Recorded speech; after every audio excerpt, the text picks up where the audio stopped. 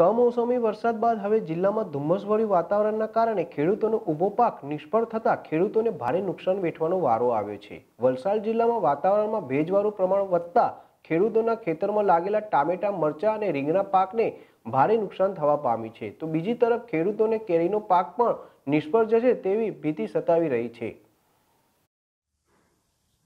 સમગ્ર રાજ્યમાં કમોસમી વરસાદ વરસ્યો હતો. ત્યારે હવે વરસાદ બાદ હવે ઠંડીનું પ્રમાણ વધવાથી સમગ્ર વલસાડ જિલ્લામાં ત્રણ દિવસમાં ત્રણ ઇંચ જેટલો વરસાદ બાદ હવે જિલ્લામાં ધુમ્મસ તથા ભેજનું પ્રમાણ વધવાથી ખેડૂતોનો ઊભો લીલો શાકભાજીનો પાક ખરાબ થઈ રહ્યો છે.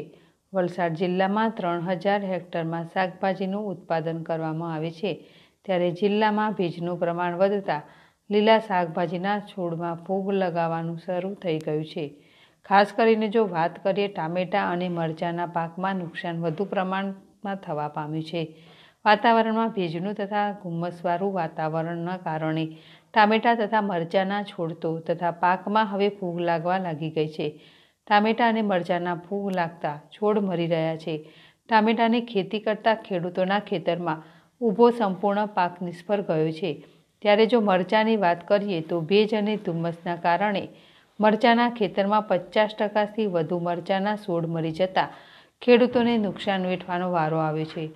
વલસાડ જિલ્લાના ખેડૂતોની ચિંતામાં સતત વધારો થઈ રહ્યો છે. કારણ કે જિલ્લામાં ભેજનું પ્રમાણ વધતા એક તરફ શાકભાજીને નુકસાન થઈ રહ્યું છે તો બીજી તરફ આ કેરીના પાકને પણ વાતાવરણમાં નુકસાન કરી રહ્યું છે. દક્ષિણ